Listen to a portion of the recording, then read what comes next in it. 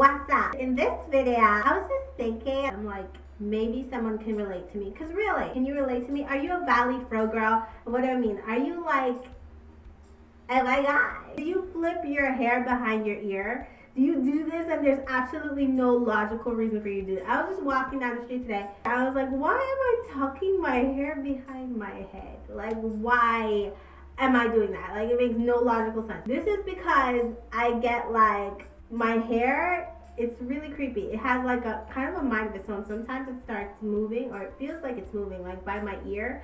Literally, I think it really is. And it feels like something's like crawling and then I go like that and it's my hair.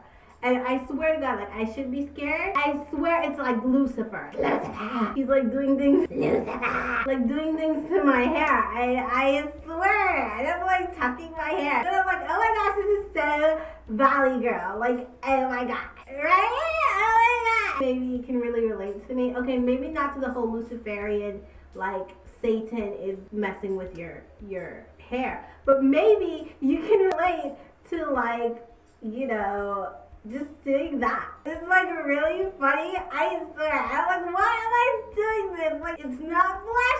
It's not flashing. Like, I don't know why. But I just have a really colorful personality. I'm like 15 different people.